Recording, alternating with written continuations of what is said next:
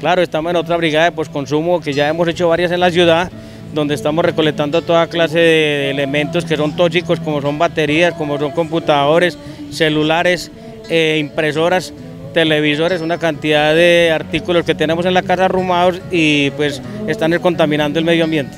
Sin lugar a dudas, eh, muchos ciudadanos desconocen que, que, estos residuos son bastante, bastante contaminantes y generalmente los tiran a la basura tradicional y no debe ser así.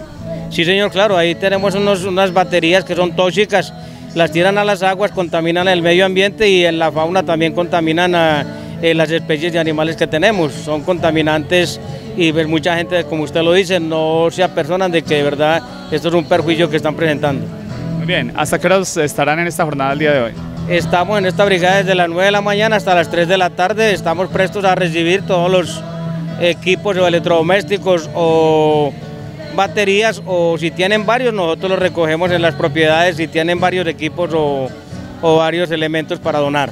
Eso, electrodomésticos obsoletos que ya están en casa, que no saben qué hacer con ellos, las pilas, eh, los residuos de luminarias LED, entre otros eh, elementos, ¿cierto? Sí, claro, todas esas baterías, las baterías de las baterías de carros, baterías de celulares, eh, de las tablets, todos estos equipos los recibimos y esto ya se les da, en un tratamiento se les da un nuevo uso. Muy bien, eh, ¿están en este punto y están en otro punto de la ciudad?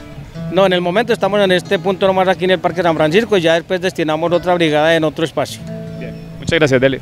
A usted un saludo muy especial para usted y muchas gracias a los noticieros CNC. Muchas gracias.